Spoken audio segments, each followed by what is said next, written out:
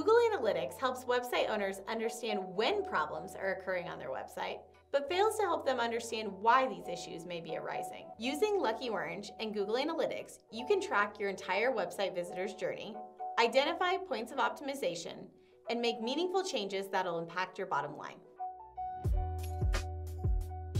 I'm Molly Statz, Director of Strategic Partnerships at Lucky Orange, and today we'll be talking about Lucky Orange Google Analytics integration. Let's get started.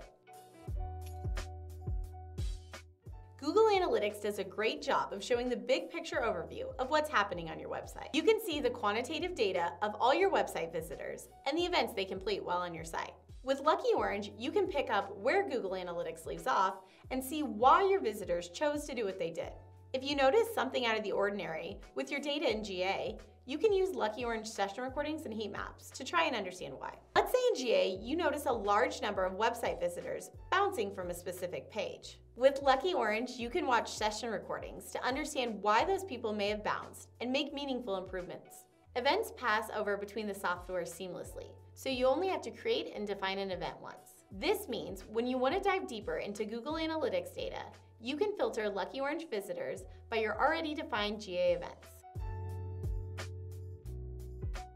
To install the Google Analytics Lucky Orange integration, first in your Lucky Orange account, click into Settings, then click Integrations. Select the Google Analytics card and click the gray Connect to enable the GA integration. It will be able to tell if you already have a GA account installed on your site, and no additional steps will be needed. Once the integration is activated, Lucky Orange will begin receiving the events that are passed through from GA.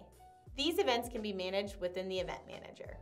To select Lucky Orange events to pass through to Google Analytics, click on the pull-down menu at the bottom of the page and select the events you want to pass through.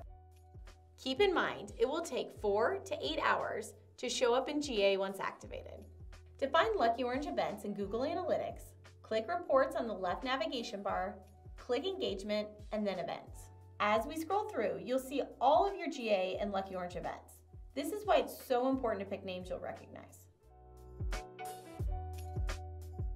Your data may look different in Google Analytics because it only updates every four to eight hours, where Lucky Orange updates in real time. Because of this difference in frequency, your data may not always match. This also goes for Google Analytics Real-Time Report.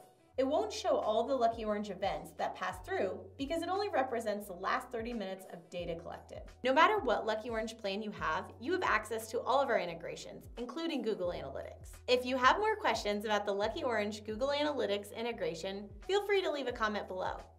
As always, hit the subscribe button to stay up to date with all things Lucky Orange. Until next time.